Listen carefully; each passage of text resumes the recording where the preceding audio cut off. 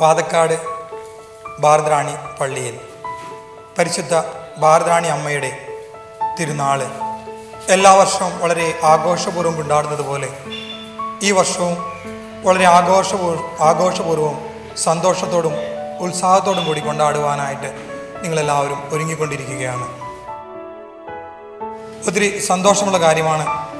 എനിക്ക് ഇടവകയിൽ പലപ്പോഴും വരുവാനും പല കാര്യങ്ങളിൽ ഇടവകയെ സഹായിക്കുവാനായിട്ട് എനിക്ക് സാധിച്ചിട്ടുണ്ട്.